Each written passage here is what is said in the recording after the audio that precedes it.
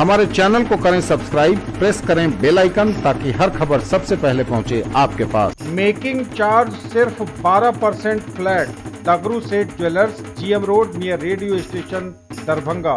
Offer केवल 15 दिनों के लिए। इसके बिना पूरी नहीं आपकी तैयारी। Test series for NEET and JEE Mains 2024 crash courses for class 10th and 12th for details call और कॉन्टैक्ट ऑफ़िस। डायबिटीज़ कंट्रोल अब आपके हाथ में। Global health care and diabetes research centre Jesus and Mary school के सामने Ramganj Darbhanga. Best diabetic centre in Bihar sari house Darbhanga. अपनी शादी को और भी यादगार बनाइए हमारे न्यू वेडिंग कलेक्शन के साथ। ब्राइडल लहंगा दुल्हन साड़ी गाउन कुर्ती मेंस और किड्स वेयर के आकर्षक कलेक्शन आपके बजट में। आज ही शॉपिंग करें। लहरिया सराय दरभंगा। त्योहार और लगन संग संग। छूट भी पाएँ रंगारंग। Up to 20 percent discount furniture village and interior radio station के सामने जीएम रोड दरभंगा। सजाएँ अपने सपनों का घर। फर्नीचर और फर्निशिंग आइटम एक ही जगह। Scholarships for meritorious students special offer for girls Manipal international school bring world class education in Darbhanga. Ekmi Ghat, Ballopur, Darbhanga. Admission open for 2024-25 Darbhanga के प्रसिद्ध माँ श्यामा मंदिर में प्रारंभ हुआ नवाह यज्ञ। आज 2 दिसंबर से 11 दिसंबर तक श्यामा धुन में सराबोर हो रहे हैं श्रोतागण। 501 कुंवारी कन्याओं की कलश यात्रा के साथ ही शहर के नौ मंदिरों के देवी देवताओं को निमंत्रण के साथ नवाह यज्ञ प्रारंभ हुआ।